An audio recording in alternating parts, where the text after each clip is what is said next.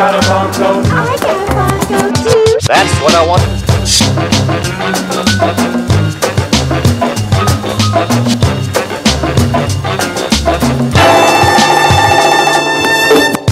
Sit on the front of your chair.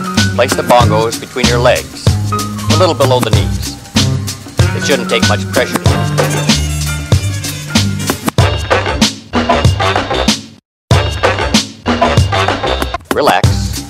yourself as comfortable as possible.